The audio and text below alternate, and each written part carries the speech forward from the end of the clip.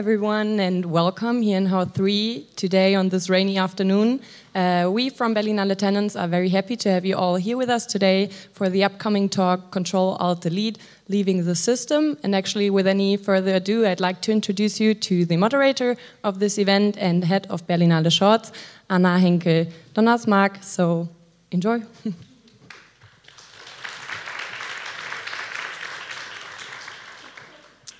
Hello and welcome. Um, who has been to Berlinale Shorts and saw how to disappear in full length? So we have a few, very few people. Okay, so we're all almost on the same page of not having seen it. I mean, I have seen it, of course. but um, so to my left is Kevin B. Lee, and these three gentlemen are Total Refusal: Michael Stumpf, Robin Klengel and Leonhard Müller. Welcome. Müllner, there is an N I dropped, Müllner. So um, I would say we watch the two clips first, and then you can introduce yourselves according to the clips. So we start with a clip by Kevin.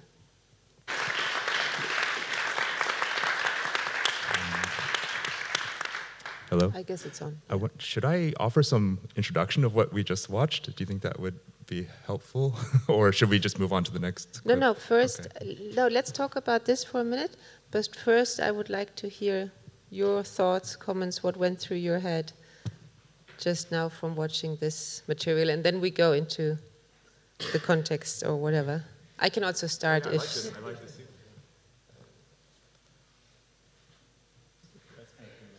Yeah, I, I, can start. That's a very that's a very typical reaction I get when I show this to people. I can start if you want, because I thought it was interesting that you process the material through your body. Like you said, you were afraid to touch it, and then it would actually, in some kind of way, go through your body. You don't have to comment on this right now, but that's something that struck me just now. Is there something? What went through your head? What did you observe? I mean, I guess uh, this method of, of distancing yourself from the material, and also this uh, that um, as a method, which is maybe necessary, but also the the kind of the importance of how how strong images can be. This kind of struck me when I first saw it. Um, you make desktop documentaries, but your desktop is this default uh, desert desktop. Um, can you say a, a, few words about that? Uh, well, if, if you watch the entire um, 18 minute video, uh, it's basically chronolo chronologizing a, a, passage of time. Because if you're familiar with this particular desktop, it's one that is uh, temporally dynamic. In other words, it changes over the course of the day. So it, it begins with a, a picture of sunrise, a desert sunrise, and then at the end it's like the middle of the night. So it's uh, it's it's a way of showing the passage of time through the changing of the desktop. Yeah. Hang on, does that mean that you had to do certain scenes at a certain moment in the day because you wanted to have a certain background? That is one way to do it. ah, I like that. yeah. The restrictions of. Yeah. You have similar situations with the restrictions from outside because a desktop is something very personal. There's a lot of stuff going on there. Um, trash bin is always filled with something, and um, but you always have to somehow clean it. And, mm. and when, when you present it to the audience, then you have maybe some somewhere your your your uh, file which is named desktop, where all the other files yeah, are in, right, right. and you put them back after you have uh, done your documentary. Yeah, it's like a new form of character depiction or narrative. It's, it's exciting. Uh, so I, I, should acknowledge uh, and point out that this is actually a collaborative project with uh, Chloe Galibert-Laîné, a French filmmaker and researcher. Uh, she was actually in the talents as a mentor for the uh, short film station, but she left yesterday. Otherwise, uh, it would there would probably be a better uh, gender balance on stage uh, with with her presenting the work as well. but yeah, her desktops are very different from mine because she makes she makes her investigations and she has different ways of representing her personality through just seeing what's on her desktop. She copied you, or the other way around? Uh, well, it's actually a series of letters that we exchange with each other. So this is a video letter in which I uh, investigate the first quote-unquote feature film produced by the Islamic State, Flames of War. Uh, and then she's uh, looking at other examples. Um, one, a video, uh, an ISIS video that actually became the most watched video on uh, French official news media on their YouTube channel thinking about how, basically, what is connected to these uh, videos and how do they circulate and spread across the web. But if you need someone to clean up your desktop, I can recommend Leonhard. Okay. He has this great technique of just putting everything in a new folder called desktop. And then he puts it in uh, a folder called desktop. And so there's like, and then there's desktop new and desktop one. So that's kind of, that's uh, yeah. perfectly logical. I'm very familiar with it because we work with his computer mainly. Is there something you want to add? No. well, this issue of, of present, what, what we reveal, what we conceal, what we consider as presentable and not presentable is very much at the heart of this project. Um, and I don't know if I should be a little too transparent, uh, but this, this project was actually rejected by Berlinale. and, I'm, and, I'm, comfortable saying this because it was accepted elsewhere. Um, it will be um, presented at the True False Film Festival in, um, in the US, which is a very fantastic non, nonfiction festival, which uh, is um, in, in an installation format. So it's two uh, screen installation, uh, my video letter facing uh, Chloe's video letter uh, playing simultaneously, and then we also have a, a station in which uh, visitors can write their own letters. It is meant to kind of help, it's a collective sense-making project in which uh, we, are, we're, we're, we are trying to make sense of these videos that are very difficult, um, difficult to watch, difficult to make sense of, and trying to find ways to stage a conversation and exchange with others. Uh, there was another festival that I will not name that also rejected the film um, but gave me the most incredible rejection letter I ever received. Um, because this, this rejection letter was so long and had so many thoughts. It was just like a, an incredible analysis, uh, expressing the programmer's uh, discomfort um, with the material, but at the same time fascinated with it and trying to find a way to to have uh, to present it to public because the previous year there were many objections to uh, oh this this film is offensive to my community this film is offensive to this community. It was a very um, it's very hard these days for programmers uh, um, to deal with the identity politics and the, the, sensitivities. And so she instead instead of um, inviting the film she invited me to have a closed door workshop with a uh, film programmer a film critic and a filmmaker uh, to watch the film and devise a new strategy for how this work could be presented next year. so I found this really fascinating of, wow. um, yeah, relating to the theme of leaving the system. Sometimes we do have to leave the system as it normally functions in order to find a way to, uh, to make the system work better or to, um, for, for works that, like these two engage within the quote unquote system. But so. it's so interesting. So your the material you're working with obviously is is so contagious ideologically that even you are contaminated now as a person and need to be contained. Absolutely. And the quarantine. And it's a matter of how do we how what what uh, responsibility and what role can we have in managing our own contagion? I think that's uh, one way to think about it. I, I wish we, uh, I wish I, you know, if that's the best sort of cure, best sort of coping mechanism, I wish there was such a thing for like the coronavirus. but this, you know, vi viral virality is such a dominant um, theme in our society right now, both uh, literally and um, and thematically. The, the left, sorry, the left loves antiseptic spaces, no? Yeah, but like those are the most boring spaces. so why would we, you know? Uh, so yeah, I, I, it's how do we deal with um, states of contamination, states of compromise? Yeah and I, I, think that's related to your work. You're working mm-hmm. within a space that, uh, in some ways, is um, I guess compromising, like the, the the, the video game space, what it asks you as a player to do, what what uh, ideologically you become complicit in just by mm-hmm. playing. Uh, it's it's something that you don't take for granted. But can I come back to this uh, um, virus contagious uh, thing? So you watched tons of ISIS Daesh videos was there a moment where you were actually fascinated, maybe even addicted but fascinated by it, or where you could see this sort of Right. that the heroism or whatever it is also Yeah. I mean, I guess. something in you? I mean, the, another. Yeah, I guess another way to ask this question is why? Why? Did, how did you get involved with ISIS videos in the first place? And I, I, um, I'm not totally sure I know the answer to this question, but I, I think it had something to do with um, starting with a love of cinema.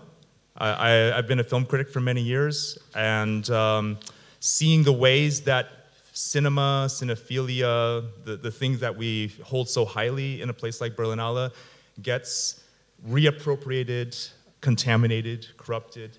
Because uh, you know, here I'm looking at hat, the, the quote-unquote first feature film by ISIS, and uh, they didn't apply to Berlinale, they just put it online, and it actually created this uh, big sensation, um, big media sensation. So how were they using, because, because just to imagine that ISIS had made their own blockbuster really drove the media crazy. And so how does cinema as an idea or as a language get used in this way? Uh, so for me, it's really looking at cinema um, through a lens of terrorist, terrorism and, and the sort of corruption of ideals. Yeah. Did they send it to Berlinale as well?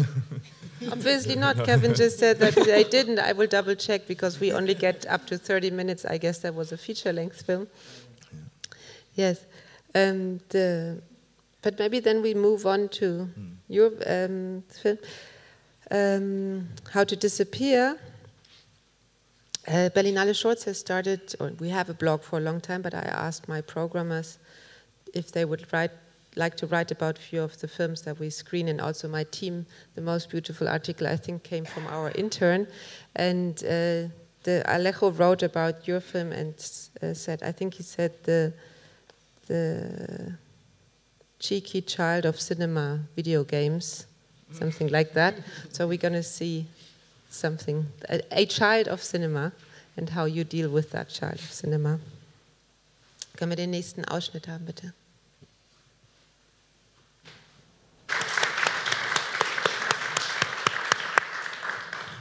So, Kevin, what went through your mind? Oh, yeah. So um, I, I, love this because, uh, well, for many reasons, but uh, one top of mind was um, I'm a big fan of uh, Harun Farocki, the late uh, German media artist and filmmaker. And uh, one of his last works uh, was a four episode series of videos called Parallel, um, which also what I think was not uh, accepted to Berlinale. So it's a very uh, it's a very nice club to be in. Uh, but it's but it's. Um, yeah, it, it's it, I, and I was very curious if you've seen this work because it's also looking at the, the borders, the limits, and the rules of of social governance within the video game environment. Um, yeah, the, especially the one called Parallel 2, where you also see players die, spontaneously die if they go beyond where they're supposed to go.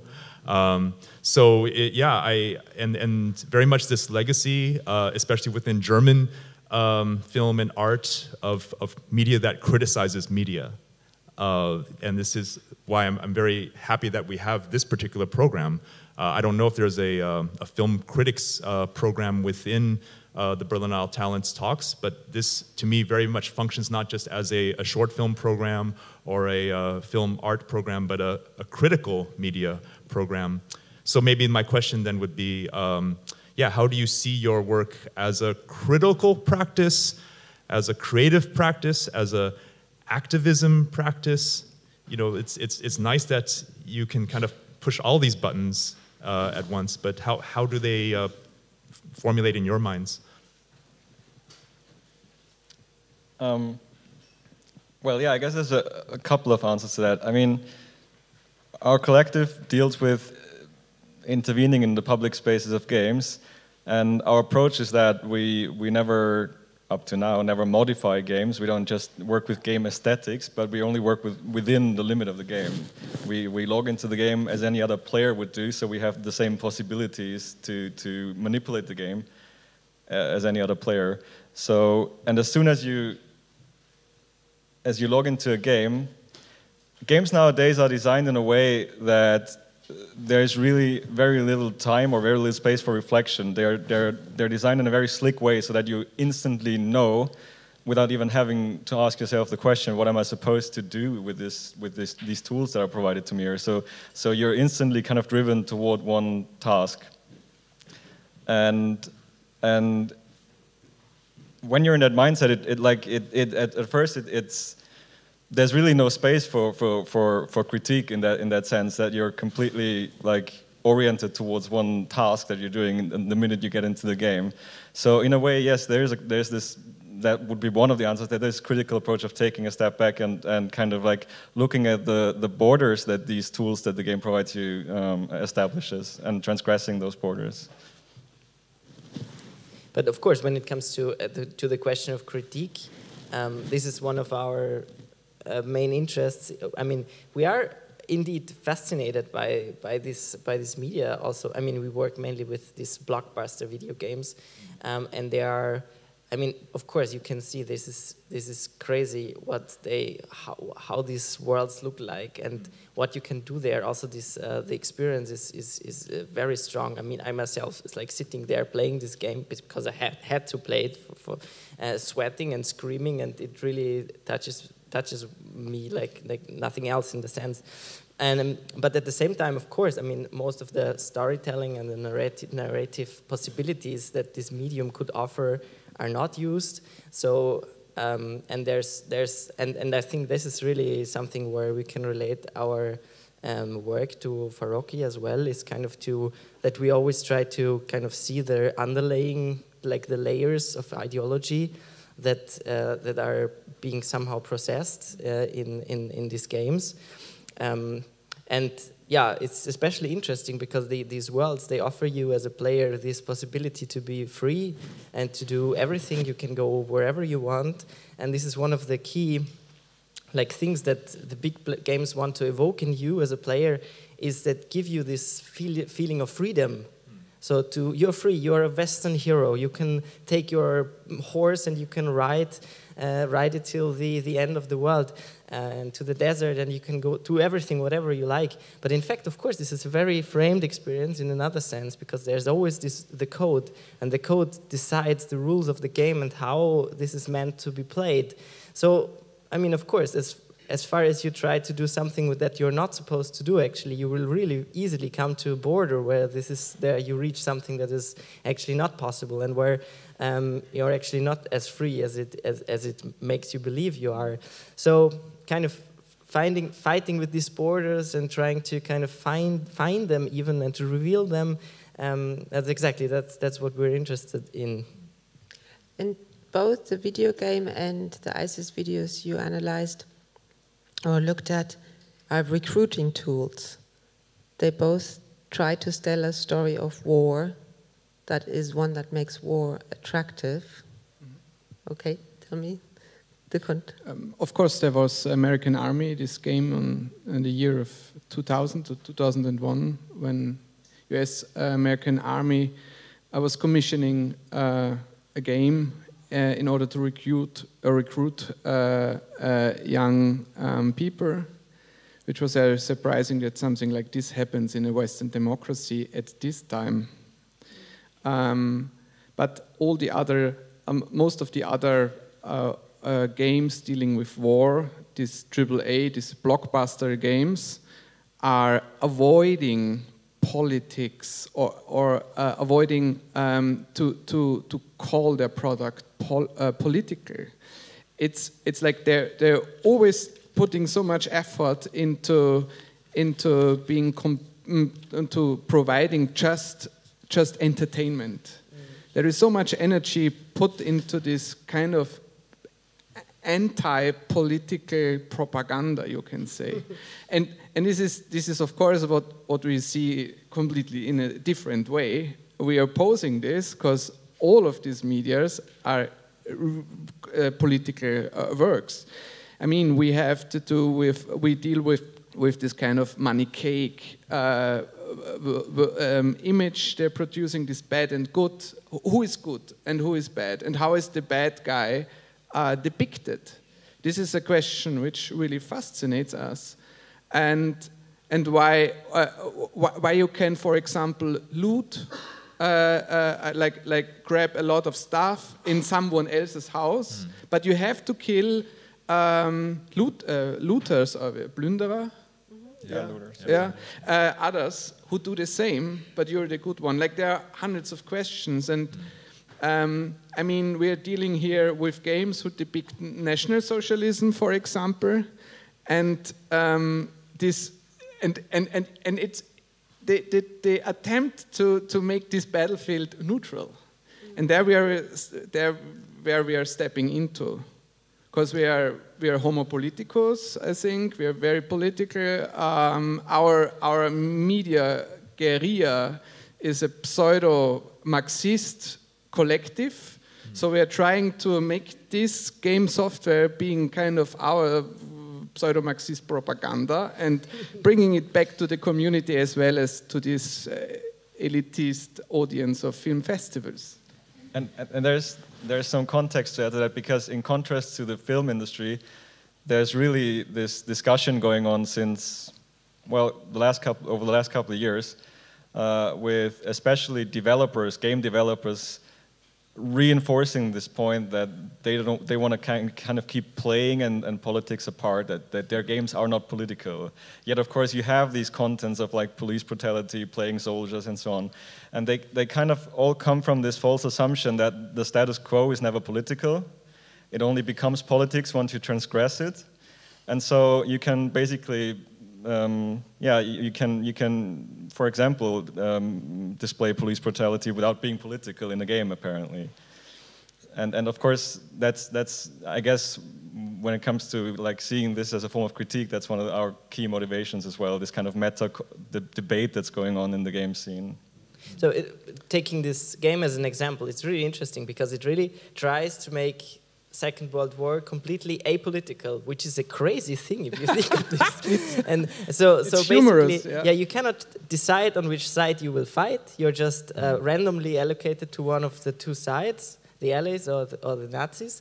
Uh, and you also, if you don't really um, and pay attention to it, you don't actually see much of a difference. It doesn't really say you like no, there's not like big emblems or something like this. I mean, you have flags and so on, but it's really it really keeps this totally in the background, which you can really forget if you're now American soldier or German. Doesn't really matter.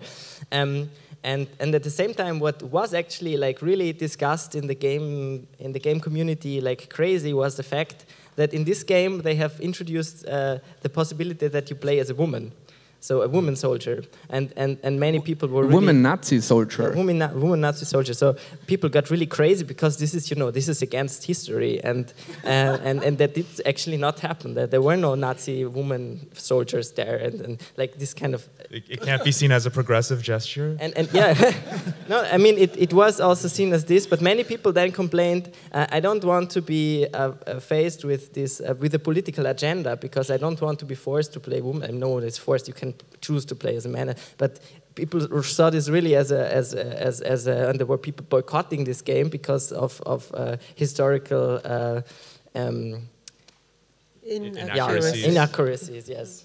Which is but what about the ISIS videos? How political or apolitical are they? Well, I, I'm just thinking about the question of ideology related to video games, how they relate to ISIS videos. Uh, because the thing is, one, one thing I want to make clear is my, my, my target, the more I investigated ISIS videos, the more I realized that my, my object is, is actually going through ISIS videos into some larger realm of media production ideology and the role of propaganda and fascism within a larger space of just everyday media production. What do I mean by this? So when I was um, looking at this ISIS feature film to understand how it was being made, there were some really strange transitions and special effects they were using that I'd never seen before.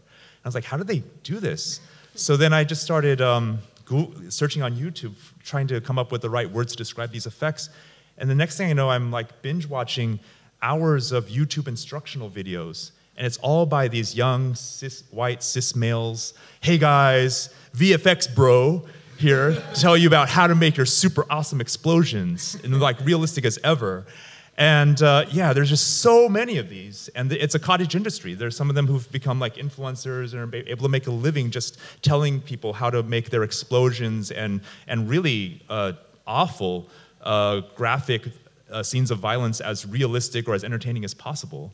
And then and I connect that to what you're investigating here. How uh, how how does um, these things that we should take critically and be questioning suddenly get packaged as a form of empowerment, as a form of enjoyment, as entertainment, and how it's related to just the, the limitless capacities of the video game uh, environment and the limitless, the increasingly limitless capacities of media production in, in so many forms.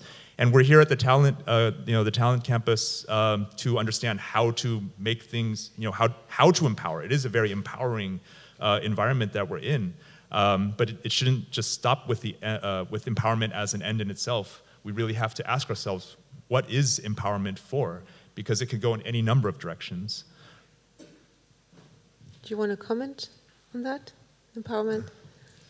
Because I thought I that mean, was interesting. It, it's in one of our, our, our is to kind of take this medium and to um, uh, basically to show what you can also do with it, how what what what other possibilities of storytelling there would be, um, and to show the the yeah the scope of action that you're allowed to to yeah. use and that, that of course so we also i mean the, the gaming community is, is a very interesting target group for us as well because of course uh, um, that's that's what i think you should really see as a as a potential um, so yeah, of course, we, we, we, try to, to make something of this. We try to also recycle uh, what, what, what, what the software offers us um, and to make something else of it, I think. So in, in some sense, uh, many people also do it. If you look at the gamer, gamers community, of course, there's a lot of mm. interest there as well, what you can do. And there's so many machinimas and people actually using them this for similar uh, than we do it. Um, so yeah, but but still, I mean, it's such a young medium still. So people are just learning how to use it and what to what to do with it actually. Um, mm. You reminded me though of this really fascinating work um, by a, a feminist uh, video game critic and artist named Angela Washko. Uh, I don't know if you're familiar with her. Back in 2014, she was really interested in issues of gender within video game environments, uh, specifically World of Warcraft. And so she went inside World of Warcraft um, and as, a, as an avatar, going to the environments. And every anytime she saw a player dressed as a female, she would go up to them and start a chat. So, excuse me, my name is Angela, and I'm um, just curious. Why did you, are you are you male or are you a male or female player? Like, and they were almost always male. so why do you choose to uh, play a female avatar? And there, there was you know a, a, wide variety too, not just like the uh, you know the quintessential uh, hypersexed female avatar, but like a panda wearing a bikini. Like someone was chose this as their avatar, so really strange expressions of gender. Um, yeah, and, and it was the first time I'd ever seen a documentary being filmed inside a video game, and that just blew my mind. As like, wow, you didn't know you can do that, and now, and now you you know what we're seeing with you as well. It's just. Uh, how and, and so I guess my question is, um, yeah, how how did you start to turn this into a documentary practice, and also what makes you um, choose to submit it to a film festival as opposed to because you do many many different forms of you've you've done live uh, performative um, you know um, interventions with the video game environment. So but I guess specifically, what about documentary and cinema? Okay, uh, so uh, to be, I, I, will be, will be honest with, with you because we're.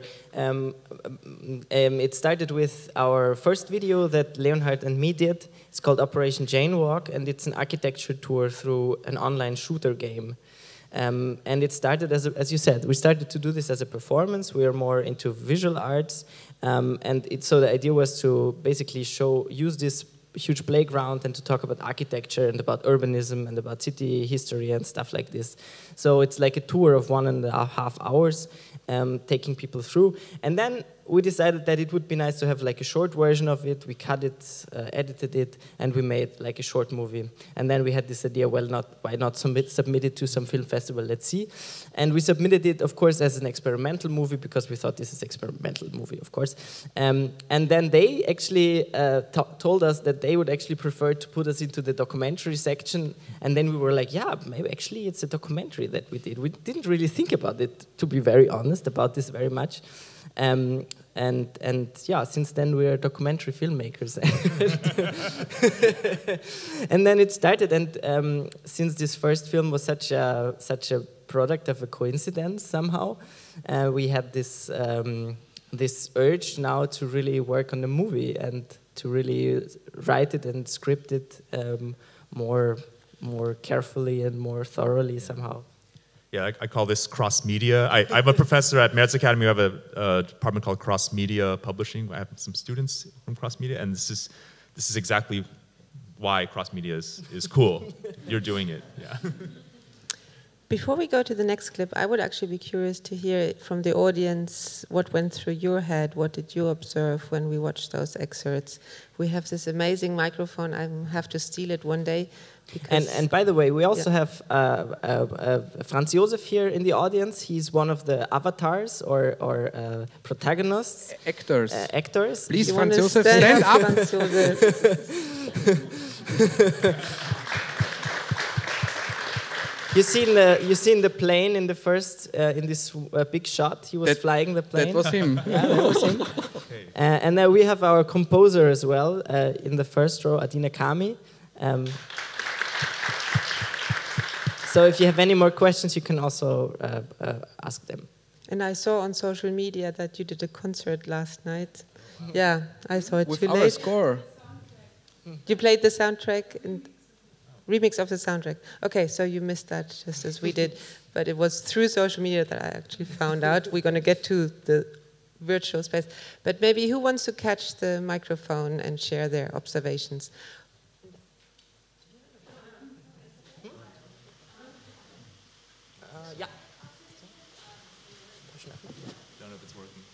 Just keep on talking because then they can switch the volume up.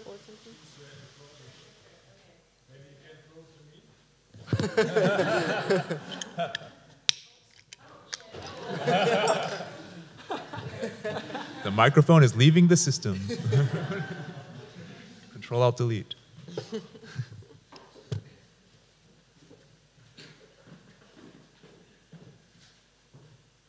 it is leaving the system. Really? It is. Reboot. It's a reboot.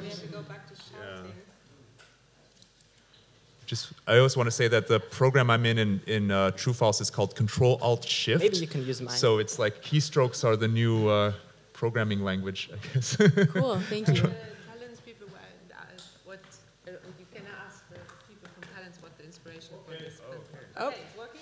Great. Oh. Okay, so. I can't throw it anymore. Yeah, this one, I don't think we can throw this one.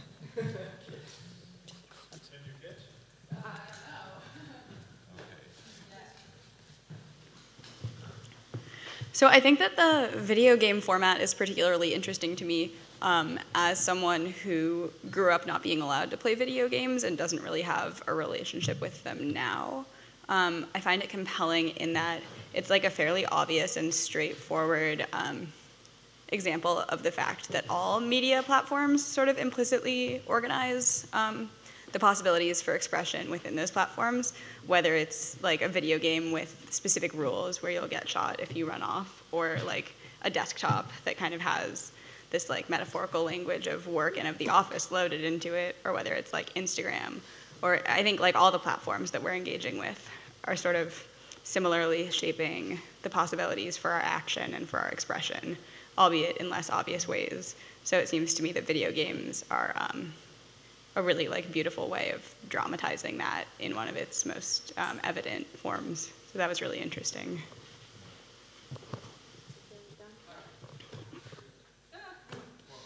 Well, that was aggressive. no, um, I think I really liked it. Um, I, I see like in academia and documentary, there's a tendency of going for like this war uh, video games that you know are kind of like a caricature in politics. But I do think there are certain mm, games are really political. For example, Death Stranding or the video games by Hideo Kojima. Uh, I mean, he's talking about he he was he went on to say the, the the game was about Brexit, although I don't know if it is, but. Um, I mean, I think that there are also many games being made more in the experimental side that also. I don't know if you've had any experience with those more. I mean, they're they're not. I mean, they're independent ones, but they're, they're also big ones that have, I don't know, tell stories and use these new ways of expression. I don't know. Yeah, yeah, and of course there's also. I mean, Kojima is probably an edge case in the mainstream genre, but there is a growing segment of indie games which which deals with innovative storytelling and so on. But I mean, at some point when we were working on our projects, we went through like Steam li or game libraries, basically uh, uh, trying to get a feel for like the market share of, of, of war or military themed games within the mainstream sector, and it is around like 80% ish. That like 80% of all mainstream games deal with this kind of like military. Yeah, I, I mentioned Kojima because he's also military, kind of. So. Yeah, yeah. You mean the, uh, the Death Stranding? The well, last I mean, uh, they all they all have like this machines and guns and stuff, you know. Yeah, but I think you actually you don't fight in Kojima's uh, latest game at all, Yeah, even exactly. though yeah. You can, but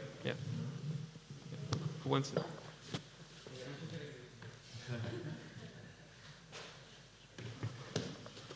Yeah, I actually, um, I actually had a question about uh, the ISIS uh, desktop documentary. Um, i you know, uh, I guess the question is, obviously, this kind of information we need to talk about it and you know make sure that uh, it's talked about so history doesn't repeat itself in a way. But how do you also prevent it from? How do you how do you control the like this you know making it discoverable the, for the replicating of effects. Exactly. like Yeah, that. exactly. So- that is that is the question. That is definitely the question, uh, and this is why we're having these closed door workshops and uh, just to kind of come up with new ways of, of framing the the thing. Um, I mean, this is something that researchers are, are really trying to do as well.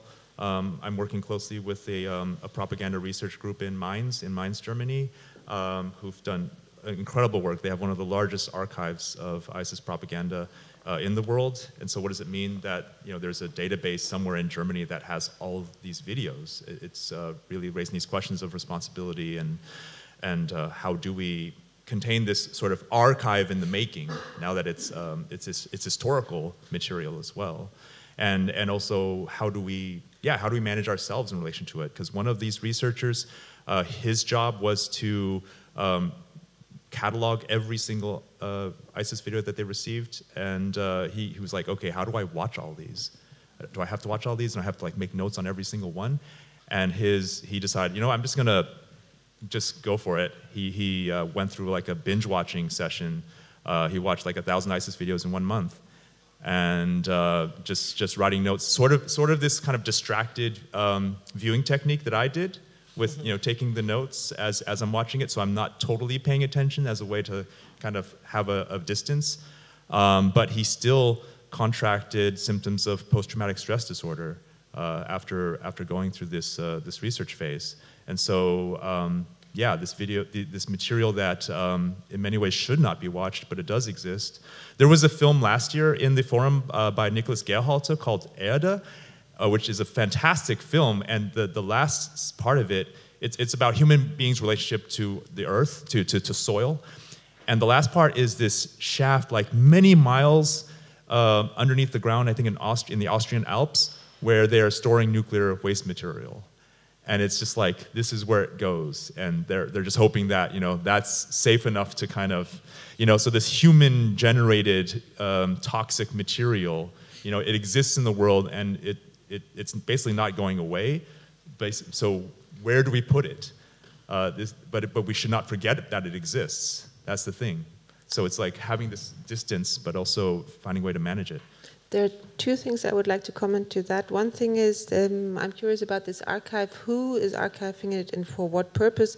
Because there are people, um, very few, maybe just even one person, who watches all these videos from all over the world to analyze the weapons. and he's so good at understanding what kind of weapon are they using in this moment and in that moment that he can actually help to track illegal weapon um, exporting and importing and the trade routes of legal and illegal um, uh, weapon trading. So he has a completely different reason for watching. Also from the Ukraine and from I don't know where. So I'm curious about why is this archive collecting and what is it collecting for? And I must add, I don't know anything about the gaming world and I don't know anything about the ISIS videos, so I haven't seen any of these. So I must ask you with the. Um, I thought it was mainly recruiting heroic depictions of war in deserts but it is also all the decapitation. It's all also these. That's actually a very very small percentage, to be honest. And that, that's that's another important thing is to actually uh, debunk these myths and stereotypes about what ISIS is, because that's that's also what contributes to the aura of terror. Is you just imagine the worst things possible.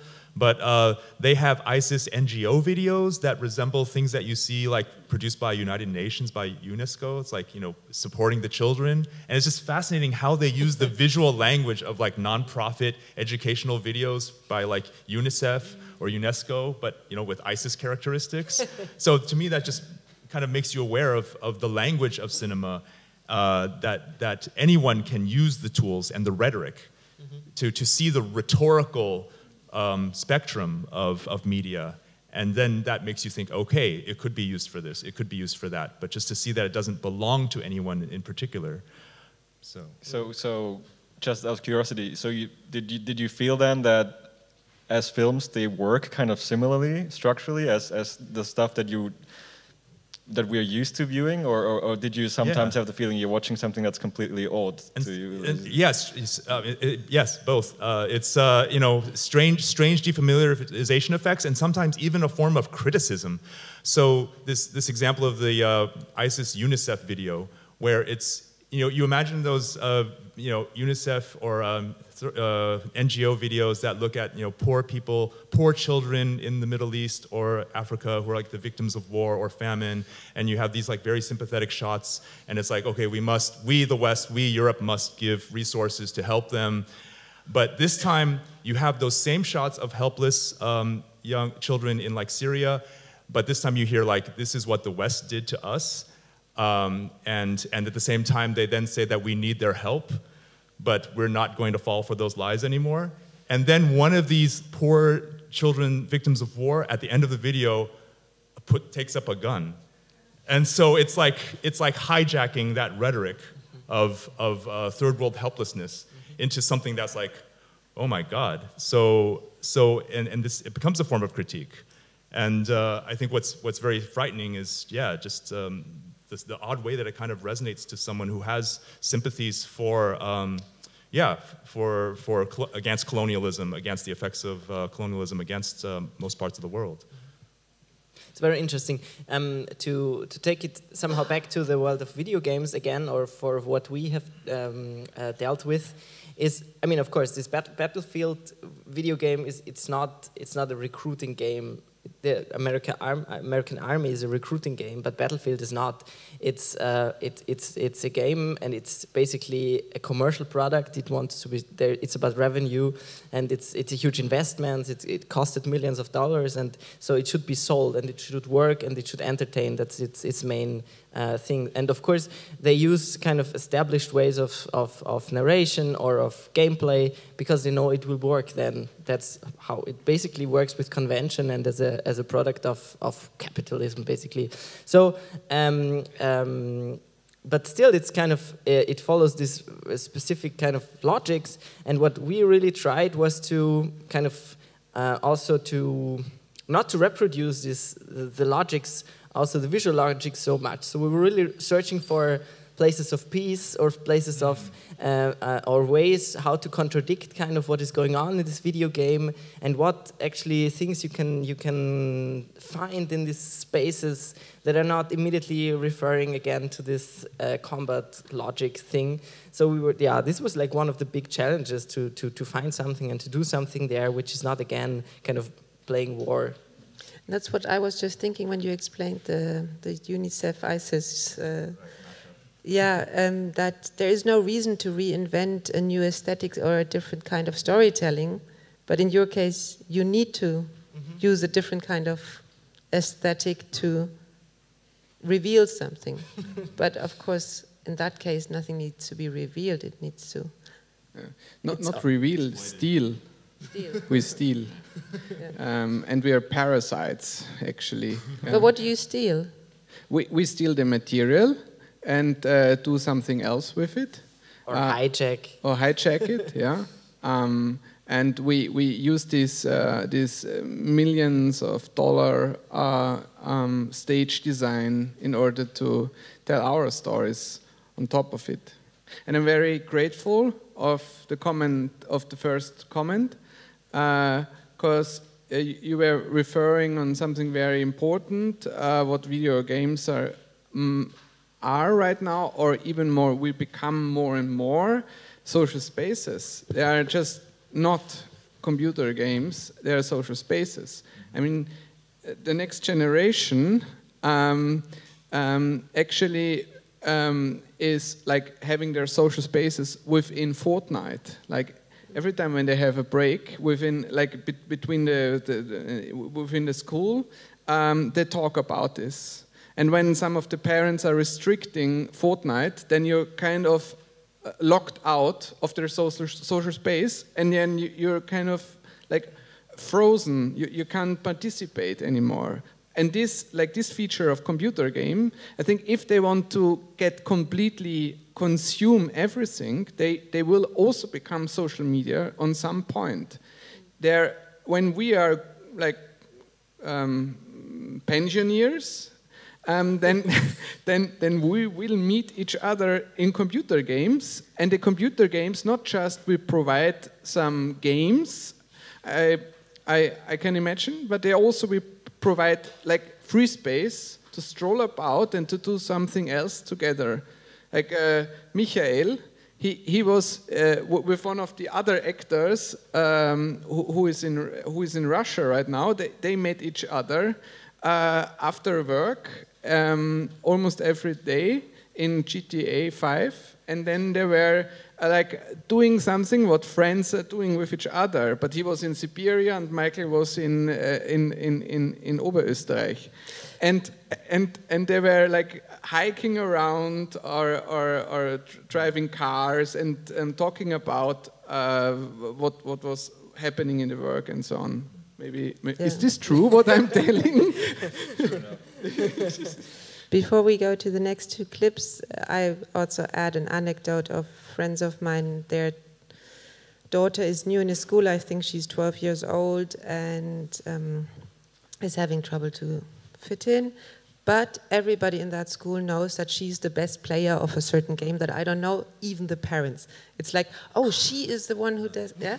so she's really big in that game. And, uh, and the other story they told me, and then that's how she finds access. So her best friend in that game, they actually met, I don't know, six weeks later after she entered that school, but knew each other already through the game. And then the other story they told me was that boys usually get PlayStations for Christmas, girls don't. So the boys meet in PlayStations and girls meet on mobile phone app mm-hmm. games mm-hmm. because they just don't get given those PlayStations and don't have access. So this boy, there is this one boy who's really popular with the girls because he's one of the very few boys who plays mobile phone games and not PlayStation. Dating so, tips. Dating tips, exactly. I think Fortnite covers both. That's why it's so successful. Probably. But yeah, you can play it on many platforms. One comment from here, and then we do the next two clips, please. There it is. Look, there it is. we found it. I had a question. Ah, sorry, sorry. I didn't realize. Oh, okay. Um, so I just want to say that um, the material that we discussed today was very relevant to my personal experience because I was a sergeant in the 8th Army Public Affairs, and I had to make a, quite a bit of propaganda myself for the US and Korean Army. And um, I think that as part of our regulations as soldiers, what we're told to do is to keep um, political neutrality, and we can't overtly show our support for a specific party. We could only vote for them. And I think this kind of relates to the apolitics within video games. And Um, uh, for me, I think to combat you know this kind of um, submission of video games as um, from growing into its true potential is largely because it's a male-dominated homogenous society um, with these cis, cis, white males who have these um, mostly right-leaning views. And I think to combat this misogyny is that we have to upend this traditional beliefs that girls have mobile phones, boys have PlayStations, and we have to. Sorry, I didn't hear the last. Oh, um, we have to get. You say it's a belief that it, they use different games. No, I think that it's something that um, socially that we need to combat um, these traditional perceptions yeah. that create a divide between um, males and females and their approach and their access to these sorts of media. Yeah, and in this case, it's Christmas. Yeah. That makes a difference. there was a. Unless you want to comment back. We're fine. Hmm? Um, just a comment on um, how the potential of making a documentary film within the video game and, and portraying the people behind it through video game. Um, in Sweden, where I come from, there's a big discussion about the whole generation of young young boys like living their life and not like meeting girls or getting a job or getting education and getting behind because of partly blame on the video games. Um, and um, I was just thinking of a scene in Joachim uh, Trier's film Louder Than Bombs, where the mom passed, passed away and uh, the son in the family locks himself in the room and uh, plays a lot of, I don't know if it's World of Warcraft. And uh, Gabriel Byrne, who plays the father, uh, is creating a um, avatar in the game to try to connect with his son. And he searches for him for hours in the game and finds him. And there's this really like touching scene where they stand next to each other and he says, the father says hello, and then the son just kills him. and there's like, it was just like a touching way of like showing how they they like live in the same house but parallel lives. So there's like a huge potential in like portraying this generation within these formats. Thank you. Is that a reaction to? Yep. Yeah, throw either either catch or shout. oh, or pass. um, yeah, I just had a question about the desktop documentary because you started talking about ISIS using um, UNICEF-style uh, images, and I wondered if you uh, discovered any kind of um, similarities to the way cults use propaganda material. Because when you go to the Church of Scientology, they have similar videos as well. Um, and I don't know if that, I mean, it is, I guess, a cult as well, but if, you, if there were similarities in the way that, the, that you found in the video in the ISIS uh, film. I mean, I'm, I'm, not an expert in Scientology videos. Okay. I'm, I'm dealing with one case study at a time. Okay. Hello, Peter. Hello, Herr, grüß euch. yeah, I just wanted to comment. I mean, if you go to the church, Christian churches, you find similar propaganda as well. It's they're just another form of cult.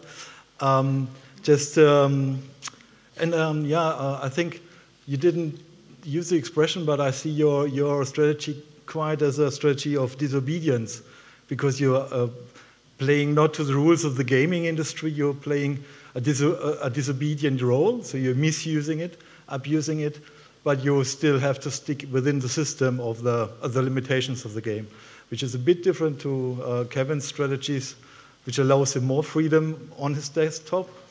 Um, and then I have a question which um, I discussed with Kevin already, but I don't know how it is with the gaming industry, which is about copyrights. I think it was um, mentioned uh, before. Um, and as you are just putting another layer but using um, the aesthetics of the games, um, would you think that you get along with the, uh, with the law of the art uh, form, or would you, did you ever hear about any kind of copyright infringement situation that they, that they prosecute uh, the gaming industry? Or did you ever get in touch with one of these people? So um, we're getting asked this question often because people, of course, wonder.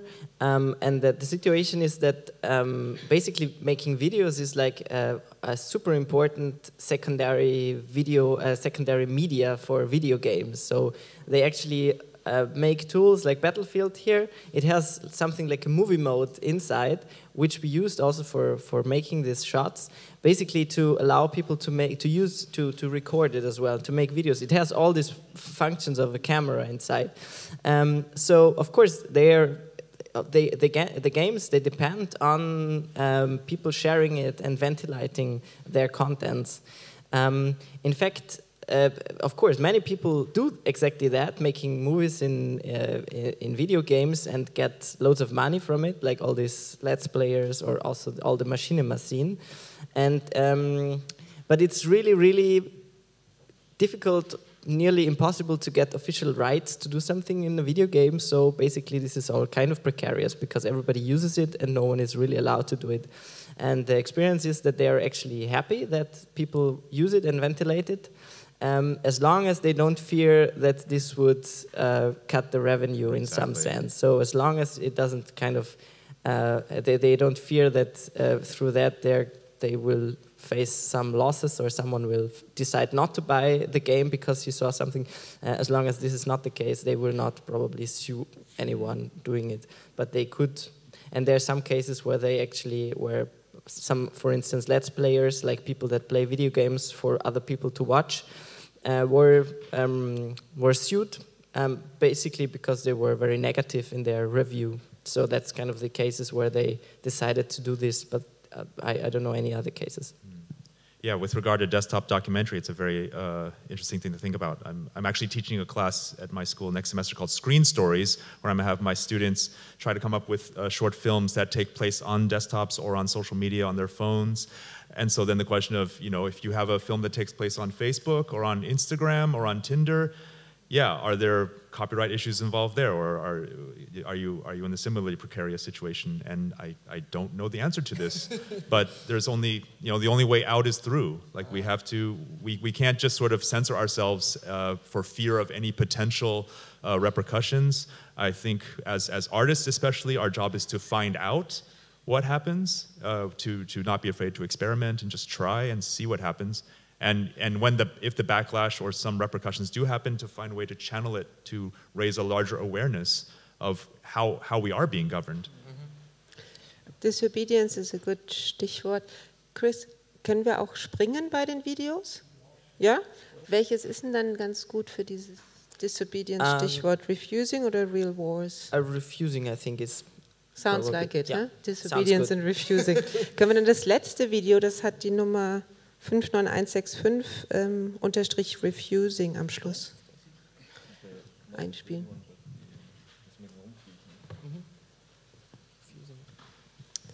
Yeah, so for those who don't play computer games like me, you have to explain who is who and. So, uh, yeah, so basically, uh, the four avatars uh, crawling on the ground in the gray uniform. That's that's those are played by us. And you? Uh, Franz, Franz, for example. Yeah. and um, I guess I have to provide some context. Uh, this particular game, Battlefield, uh, doesn't allow you to to film in an isolated space, so you cannot open up your own game and, and, and just film in peace. Rather, you're forced to, to film in a running game session. So you're always um, in the middle of combat basically and, and we, we, we were trying to do all our scenes or kind of find space for our scenes in, in you know battle uh, in the middle of battle and and to some extent of course that's also welcome though because it provides us with a chance to actually intervene in the combat that is going on and try to to um, sort of distract players from from fighting. And that's what's going on here. So the players the sniper in the first shot and this kind of like officer standing with this pistol in the second shot, those are players that we don't know, uh, other players which we kind of just, in the in the second case of that officer, annoyed so long that they left the game in the end. So, yeah. But we were thinking a lot about uh, about how how pacifism could work in the in the game like that. We had many plans and tried some things. Also, uh, one of the idea was actually to read stories of existing uh, deserters from various wars, like uh, um, um, diaries and so on, uh, and to basically confront people. Um, like uh, there's this nice uh, German word, uh, Zwangsbeglückung, um, like forcing them for, for to hear this these stories. Um, but then we kind of, it, for technical reasons, that's actually not possible. So we tried many things how to how to bring peace into these worlds, the chat and so on. But this is this is all not really working. So that's kind of the best thing uh, or the best experiments that, that we came of up. being so really annoying. Basically, annoy the players of your own team because this is i mean maybe this you didn't get but this is actually he's from our own team. He's like playing with us the nazi. the nazi like you can yeah. choose whether you're a nazi or an american soldier yeah you cannot choose it you the, choose? the game decides for you on which Ah, sides you fight. But yeah yeah um, that's why he, he he shoots at us but we don't get hurt because he's from our side so it, he we, he cannot harm us. He's just ir- totally irritated. And what's also very funny here is that actually it's it's like four of us but it's two other players that just decided to join us in this funny action. so they. That's why I was confused and Yeah, asked yeah, yeah, is yeah. who because yes, Yeah, that you- also happened a few times. The, the players that are kind of popping in, they are basically spawning on their teammates, which would be us. They just don't they, they don't know that we're quite useless teammates, and, that, and so they, they decide to spawn on us, and they just kind of spontaneously joined in. They saw four people like crawling around with hammers on the ground, and yeah. So they were, of course, we were following the chats uh, and so on in the, the in-game chat, and sometimes they were like, "Oh, what these f- assholes are doing? They're destroying the game." Sometimes they were like, "Wow, what these funny guys are doing there? I'm gonna join them." Yep. yep. Sure. Where's the This portal cube. Yeah. Um, so I'm, I was a professional Battlefield player in Battlefield 3 and 4 in Hotline. So the first uh, clip I saw of the video game was quite interesting, and I thank you guys for doing that because a lot of people that play the game don't think about stuff like this. Um, what I find interesting about the second clip is that it's actually a thing um, to, if you stop uh, playing the game and kind of pause like you did, people actually join. and It's quite often that that ha- happens. And the most interesting thing is that it actually happens with the opponent team as well. with what? With the opponent team, that happens as well. So if an opponent opponent sees you doing that, then he's most often stops doing and pauses and does the same thing with you. And there's also something um, which is another game, which is Counter Strike. There's something called uh, Stats Roulette. I don't know if you're aware of that. Stats Roulette. It's basically s- Chat roulette. stats, stats like s- Okay, statistics. Yeah, yeah, yeah. Statistics roulette. Okay. yeah, and it's basically something where you um, join a game five on five and you play the opponents with your team, and then uh, you have a different website where you go, and you get um, strats that you have to follow, like uh, throw the bomb at one bomb spot and then go around in ducking and shoot with pistols only and stuff like that, or don't shoot every uh, someone or stay in a spawn or something. So I think it's really interesting that you wrap that because it's uh, something that is, living in the game already, in a part, in a sense. So thank you. No, thank you. um, uh, disobedience was uh, one of our key terms because um, um disobedience is not just what we're doing, what our set of tool is. Uh, um, it's it's maybe um, the core of creativity uh, from within the community. Like when when you're disobedient, disobedient within uh, the rules uh, of a game, then you're creative per se. So uh, a lot of players uh, they they have uh, great fun with being um, disobedient towards the media, and then they upload it, and then they inspire others to do so as well. So this is this is where we are learning a lot from the community, and where we also attempt to kind of create with Total Refusal, our collective, a kind of a laboratory in order to develop tools to give something back to the community as well because it's uh, it, it makes fun to be disobedient. We, we all know this from our childhood, um, and we all know how, how, how creative and uh, childishness can be. Foremost, when the games are taking themselves so serious. Mm -hmm. I'd like to add to what you said that there's this beautiful um, um, moments that sometimes uh, when a server is too empty to actually start a game, then you are uh, you can already like be there, but the game didn't start yet because you're waiting for other players to join, and that's also one of these kind of uh, spaces where you can even like meet the people from the other team sometimes. Sometimes you don't shoot because it doesn't count. You don't get any points for it. It's basically useless to kill someone. So in these kind of moments, there's like the most beautiful things armistice. can happen. Mm. It's an armistice kind of. it's like we also had the idea to include it, but it's so complicated to explain this in the video that we then decided not to use it. But it's very interesting space. So either we take disobedience as the Schlusswort, as the closing remark, which I think is a very beautiful closing remark, unless there are questions, desires to continue, comments. Yeah. Hey, um, so one question for Kevin. I would be curious, have you ever tried to get in contact with people behind the ISIS videos, like the video creators, about the network behind? Who's doing them. Say that again. Uh, did Sorry. you ever get in touch with anybody who did right. this, who made those ISIS videos? Right, that is kind of the next phase of the project. Um, but uh, at, at, this point, I'm kind of uh, in, in this phase of kind of imagining, kind of playing with the power of imagination. I think that's a, a, very important dimension to the this this question of media terror is the thing that we imagine. So I'm, I'm right now I'm kind of building a sketch of what I imagine this uh, person on the other side of the screen to be. Uh, but yeah, I'm, I'm in also in the process of looking to find where I could uh, contact uh, a, a, such a media producer. Yeah.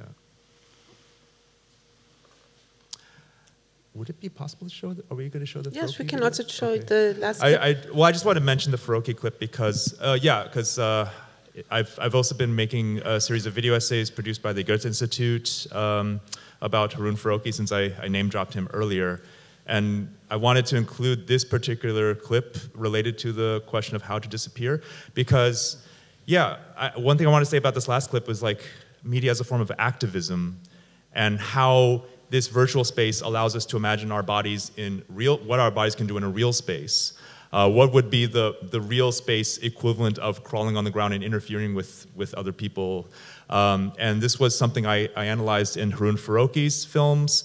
Uh, of the 120 films and videos that he made, uh, he appears in, in many of them uh, himself. And I was curious about how he uses himself as an instrument or as a model of activism. Um, and so I wanted to show this clip that shows him at the beginning of his career back in the 1960s as a radical media activist, and then at the end of his career when he doesn't show up in any of his films at all. Uh, and why, why does he disappear from, um, from his own films? Uh, and I, I think it does connect to your work.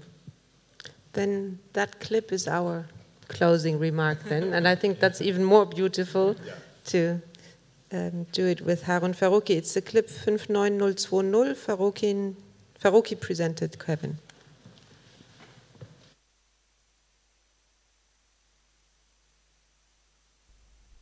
Harun Farocki appears in 24 of his own films. His time on screen totals 2 hours and 21 minutes, enough to form a movie in itself. Was kann das Ziel dieser Anschauung sein? Muss die Anschauung ein Ziel haben?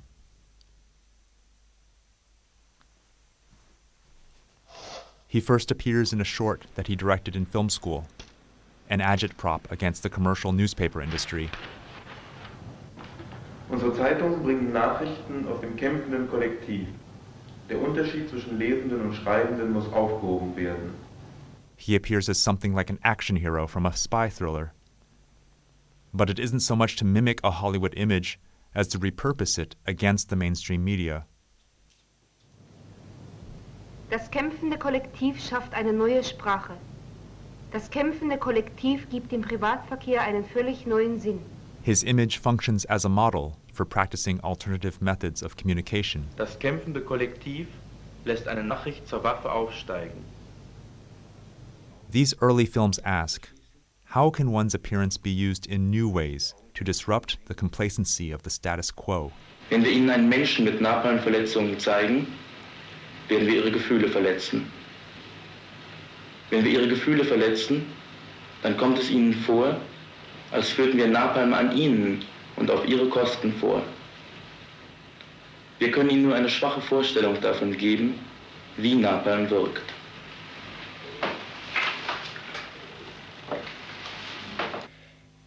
Eine Zigarette verbrennt mit etwa 400 Grad. Napalm verbrennt mit etwa 3000 Grad Hitze. How can progressive ideas find proper expression in a body? For the last 17 years of his career, he no longer appears on screen. Has he exhausted the creative possibilities of his bodily presence? Or is appearing on screen no longer necessary or relevant to his final investigations? Scanning machine. Um, These works explore such topics as surveillance systems, computer simulation, and virtual reality, and operational images for machine learning and automation. An emerging world of images to regulate human bodies, or else transcend them altogether. This new world of images demands to be inhabited by a new set of ideas and actions. What will all this newness leave behind? Will this world require us to inhabit it beyond the capacity of our bodies, beyond even the capacity of images as we have known them, and all the images we have known?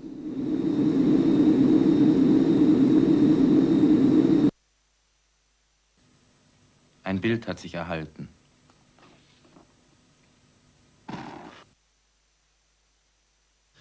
Yeah. Beautiful. Um, yeah, this, so this question of how do we come back to our bodies, how do we come back to physical spaces, and it is a very Farokian thing because I think it was in 1982, his feature film uh, uh, Before Your Eyes Vietnam was rejected from the Berlinale Forum. so, what the he did, what he is- did, he staged an intervention at the Delphi Cinema where he did a live version of the movie in the lobby without permission, and and it was a, as a form of protest.